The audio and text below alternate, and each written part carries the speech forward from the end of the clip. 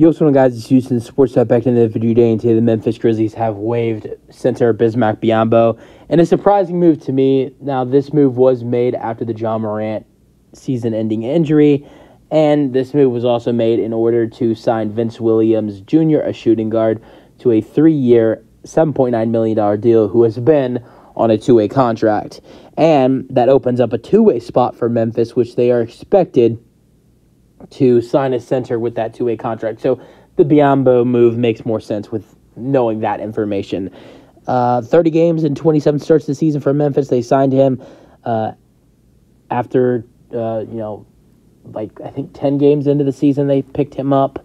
And uh, they needed a center next to Jaren Jackson Jr. Really, the, Steven Adams' absence was really hurting them. They needed some rim protection, needed some size, and they picked him up. He started 27 out of the 30 games he's played in.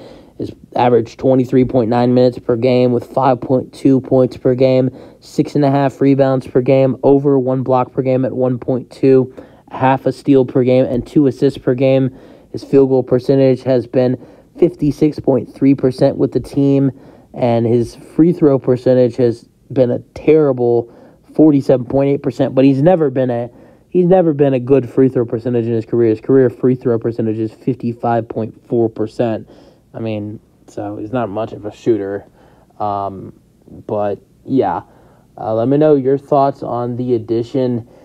Uh, sorry, let me know your thoughts on the roster move for the Memphis Grizzlies, and also let me know your thoughts on them signing Vince Williams Jr. to a three year, seven point nine million dollar deal. I mean, I like that move.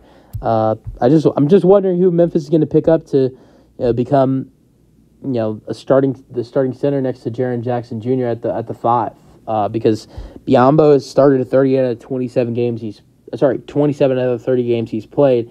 So I wonder who's going to fill that void. Let me know your thoughts on because because Stephen Steven Adams is not coming back anytime soon. He's out for the season, so it's not like Steven Adams is coming back. But yeah, let me your thoughts on the roster move, uh, or the roster moves in the comment section because not only do you have Biyombo getting waived, but you also have Vince Williams getting signed to a three or seven point nine million dollar deal. So yeah, let me your thoughts on the moves in the comment section and peace out.